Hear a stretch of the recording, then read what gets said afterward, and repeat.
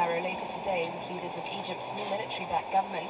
This is the first visit by a senior U.S. official to Egypt since the army ousted the Islamic President Mohamed Morsi. Stern will urge a transition to what it calls an inclusive, democratically elected government. There's still considerable anger among Morsi's supporters, especially over the swearing-in of Mohamed al-Baradei as interim